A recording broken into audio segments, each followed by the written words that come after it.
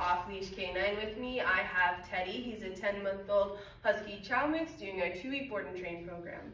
So Teddy's a very smart boy. He is energetic and can be very high energy, so his owners need some help with controlling him a little better. So let's see what Teddy knows. Teddy, come. Come.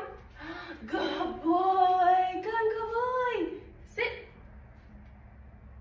Sit. Down.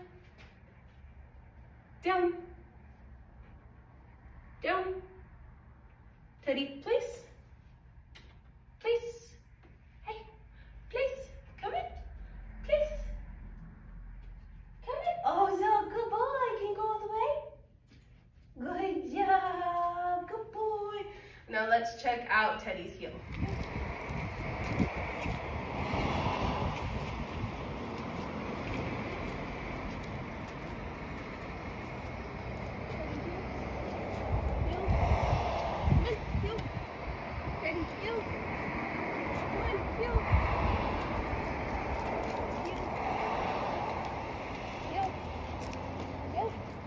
So as you have a little work to do with Teddy. We'll check back in after two short weeks.